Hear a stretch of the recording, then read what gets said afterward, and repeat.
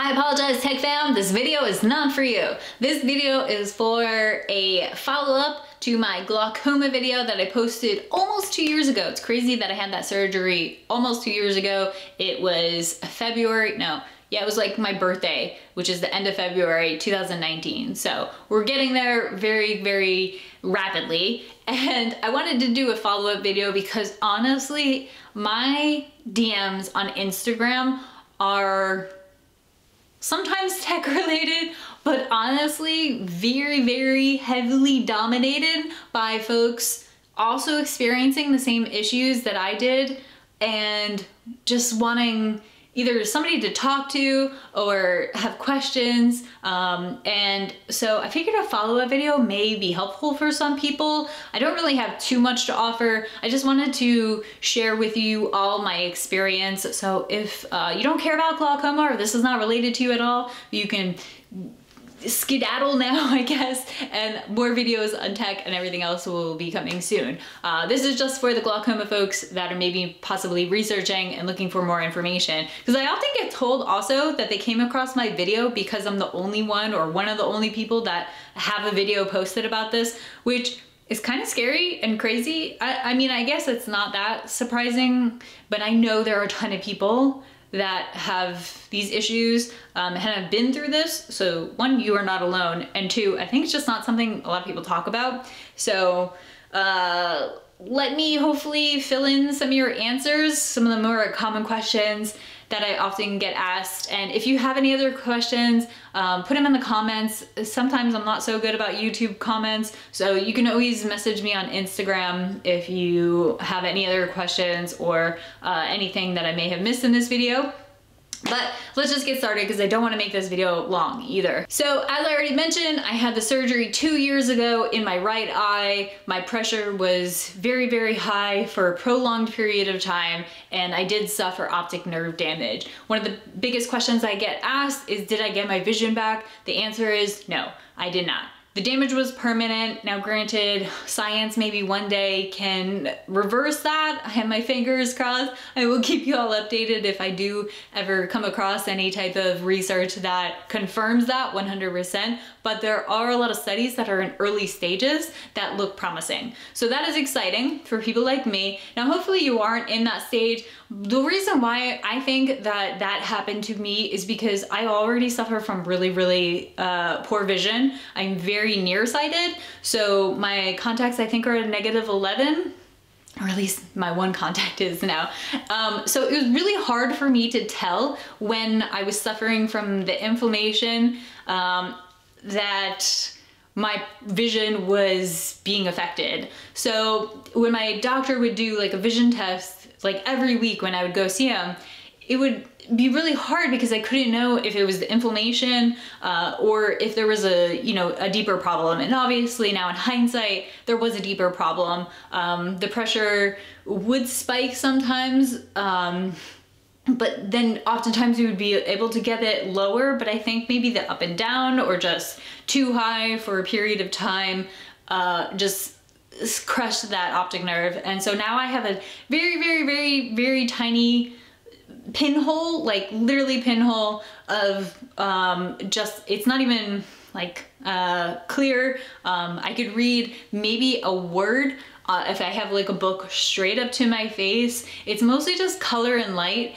and very blurry obviously because I don't normally put a contact in it so I just wear a contact in this eye. When I wear my glasses um, I do often notice a strain on my brain. I know it's kind of weird to say, but a strain on my brain because I have one eye that can see, one eye that's just like constantly fighting with the light and the color and being blurry regardless of the fact that there are glasses on my face. So if you do experience that with only having one eye, I totally feel you. I feel like people that are completely blind in the eye probably don't have that issue. It's only when you can kind of see a little bit and your brain is trying to combine those images that I do find it really tiring. And I'm sorry, I don't have any words of wisdom for that. It just sucks. But if you're experiencing that, uh, I too go through that and I don't have a solution to that, um, unfortunately. It's kind of just something that I live with and deal with and I am grateful for just that tiny bit because if I ever were to go blind in this eye, um, I'm always worried about like a retina detachment just because of my high prescription. So if I ever were to go in blind in this eye, yes, I would be blind in this eye, but that tiny bit of color and being able to see just a tiny little bit, it's obviously better than complete blindness. So to me, yes, it sucks, but I do, I am a little thankful for the tiny bit that I do have left. Um, some other uh, questions that I get asked, did the surgery hurt? I don't remember what I said in my video two years ago. I don't remember being traumatized by any pain or anything. Um, I do remember it went very quickly. My doctor was fantastic. Uh, there was a lot of redness and blood in my eye after, but that went away after probably about a week, maybe two weeks. Um, the one thing that was kind of sucky is that my eyelid was definitely droopier than my left eye, so I could notice it. Um, it kind of just looked like I had a really, really lazy eye. My doctor said that that's normal for eye surgery. The eyes just take a longer period of time to uh, come back to elasticity, and that's because they do have to stretch your eyes so much that it just kind of stretches it out, unfortunately.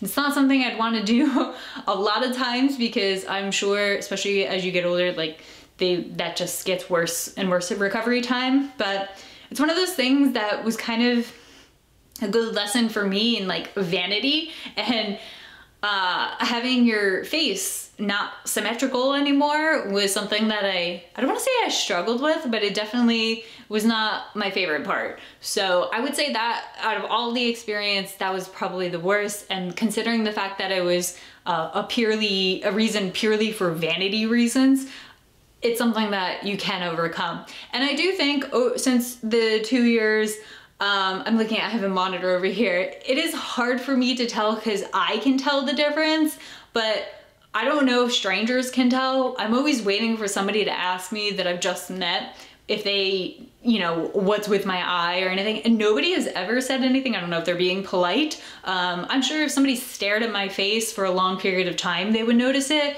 And when I point it out, obviously it's more noticeable. I also, because I do have semi big eyes. I do have a bit of a bulge here on my eyeball for lack of better words. Um, you can see the implant. So obviously I see that. I'm sure other people do too. I don't know. Maybe they think it's a tumor or something, but nothing you can do about that.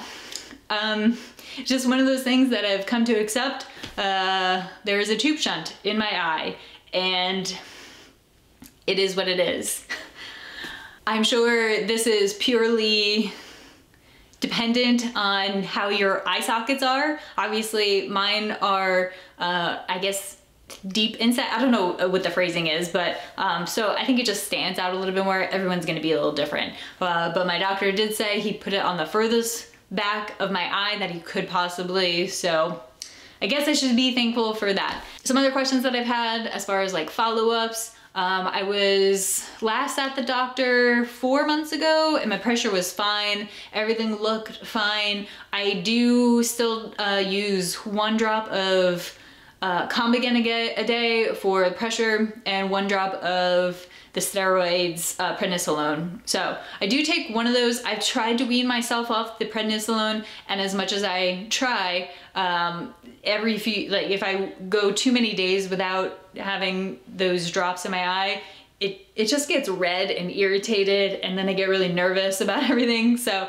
I just stick to one drop and that's prescribed by my doctor and it seems to be fine. So if those two drops of Combigan and prednisolone are what I need to maintain it to be okay, then I'm okay with that. I also use Xiidra to keep the dryness down. My eyes are very dry, my eyes, my one eye is very dry. So I do use Xiidra, it's very expensive. I have nothing to offer, you know, try to get the coupon. I don't know if they still have the coupon. Um, that brought it down quite a bit, but it is very expensive. I was using it twice a day as it's prescribed, but I did find, do find that my eyes really sensitive. So between all the drops for so many years, um, if I use the Xiidra too much, it actually has like an adverse effect where it starts to bother me. So I just put it in at the end of the day to kind of like cleanse it from all of the horrible makeup and, and grime from the air. I don't know.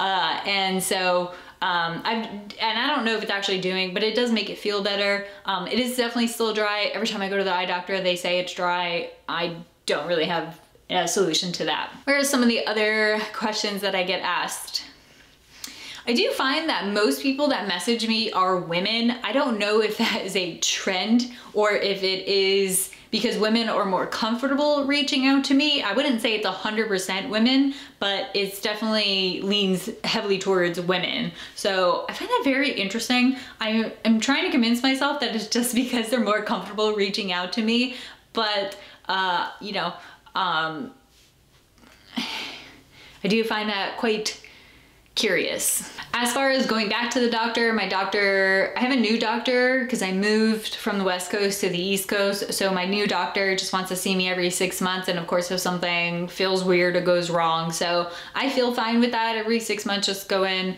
Uh, last time I had a checkup, it was fine. So here's to knock on wood. Hopefully the next time and hopefully this will last me a good period of time.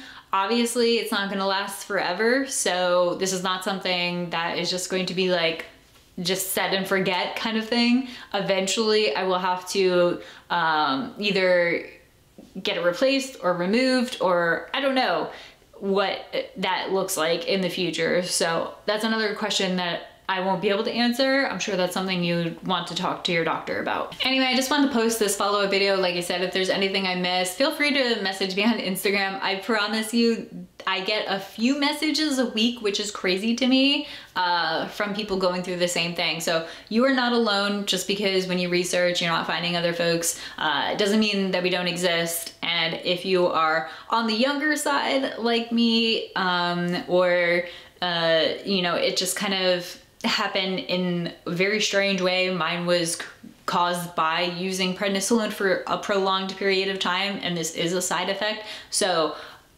I, um, you know, like I said, you're not alone. It sucks for sure. Thank goodness nature gave us two eyeballs and, you know, I just hope the best for you. Uh, hopefully science is on our side and they will be able to eventually uh, fix issues like this in the future, specifically with regards to optic nerve damage. That's something that obviously, like I said, I am uh, keeping an eye out for. And if there's any doctors out there that have any type of information about that or um, research that they would like to share, I am all ears. I don't know if I'd volunteer as a tribute just yet, but uh, I'd definitely be interested in hearing more. So like I said, uh, this was just the update. If you are experiencing any issues, I wish you the best and hang in there.